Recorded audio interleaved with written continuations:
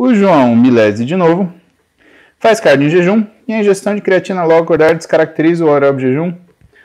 Olha, João, é, se você consumiu alguma coisa antes de você fazer exercício, aliás, se você consumiu qualquer coisa, é quebra de jejum, João, tá?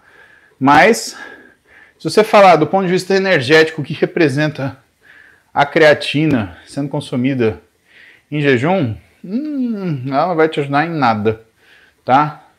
Deixa para tomar depois do aeróbio, João. Faz isso. Vai ver, vai ser melhor aproveitado.